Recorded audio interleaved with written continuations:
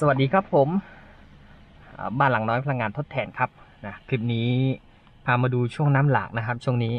พายุเข้าอีกแล้วนะฮะแล้วก็ตกหนักมาก อันนี้เขตอ่ารอยต่อระหว่างอำเภอบัวเชษและอำเภอสังขะอยู่ระหว่างตำบลดมนะ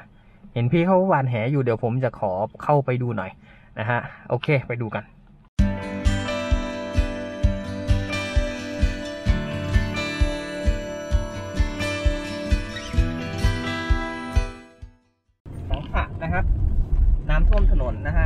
แบบนี้ก็คือต้องมีปลาจะมีคนอ่าถือแหเนาะนะฮะเขาเขาหว่านปลาหว่านตรงนี้จับตรงนี้เลยครับ ผมเนี่ยน้ำอู้ทางนู้นครับข้อมูลระวังเด้อนะครับแรงนะครับ อันตรายนะครับ เด็กน้อยก็ขับจักรยานพัดได้นะครับนี่บ้านมหาปลาอืมโอ้เนี่ยเขาจะมีป้ายแดงๆว่าอยู่ว่าพื้นที่อันตราย จะล้างรถนี่มาเลยฮะ ตอนเนี้ยยังไงเขาเขามาดูงานผลกระทบอ่าหน่วยงานอันนี้มั้งราชการเออมาดูความเสียหายท่วมทุ่งข้าวจ้า เนี่ยไงต้องมาเช็ค แต่น้ำมันมาเร็วแล้วช่วงนี้ ดูดูปลาเขาหวานแหหวานแห นั่นไงปลาเอาไว้ในถุงอู้ตัวใหญ่นะเขาได้ตัวใหญ่เลยครับผมนี่ปลาตะเพียนบ่น่ะนี่นี่ในถุงเขาเนี่ย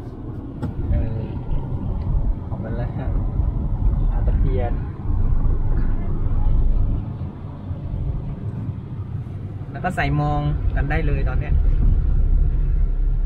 นี่นี่เขากำลังเขากำลังดึงขึ้นแหมจะได้กี่ตัวกูจะไปเปิดถ่ายเขาเลย ไม่ได้ตอนนั้นก็กำลังดึงขึ้น ตอนแรกกันเยอะนะเดี๋ยวไม่ถึงก็ต่อเข้าเลยแล้วเขาก็จะมีขายปลา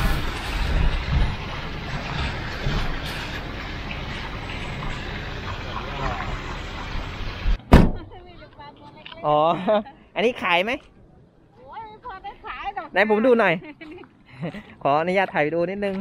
โอ้ปลาอะไรสีแดงนี่ อ๋อปลาไอ้เขารู้จักอ๋อปลานิลเหรอปลาทับทิมเหรอค่ะเออ นู่นอยู่กะละมังกะละมังเนอะไม่ใช่ปลาหมอเดี๋ยวกันไปดูเขาหวานก่อนนะฮะนี่ครับผมบรรยากาศช่วงเด็กๆนะคิดว่าทุกคนน่าจะเคยประสบเจอนะฮะเนี่ยครับหวานแล้วครับผม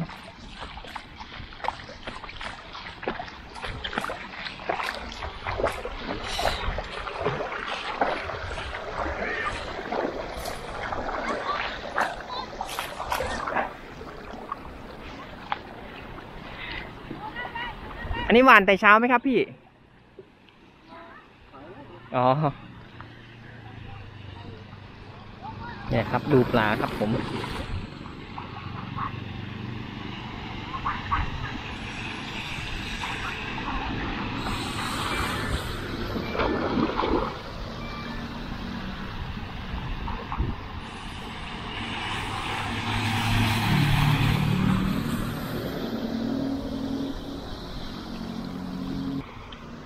นี่ครับ ผมปลาหมอ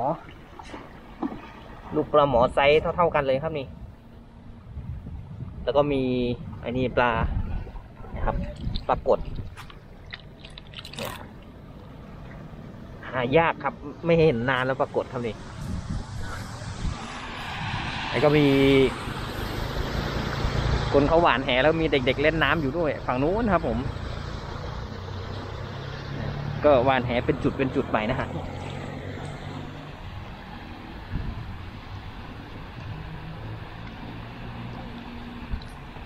ตัวใหญ่หมด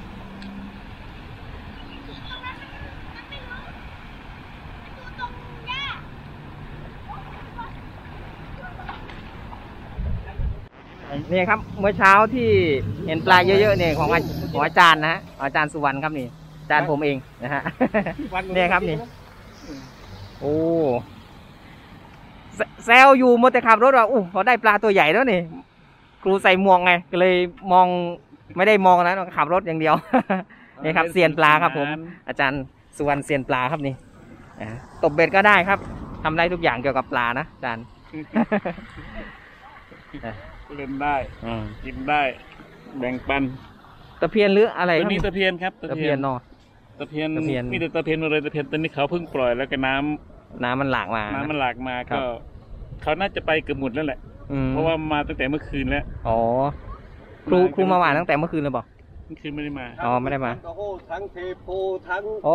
อันนี้โคงน้องนาครับโอ้งานทั้งออกตรงนู้นนู่นครับผมนู่นฟังออกตรงนู้นโอ้ยเซ็งอ่าโอเคอ่าครับงั้นกลับแล้วครับอาจารย์ ครับครับครับสวัสดีครับผมโชคดีติดตามติดตาม ครับ ขอบคุณครับผมเชิญเดินดู